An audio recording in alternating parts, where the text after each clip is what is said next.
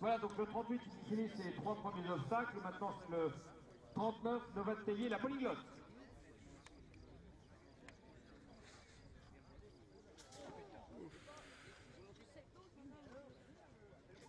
À la deuxième ligne d'obstacle, le long des écuries.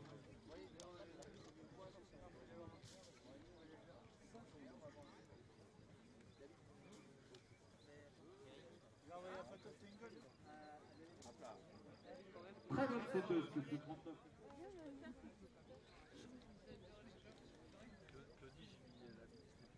Voilà Novat Tellier, la polyglotte, très signée de son père. Et rapide.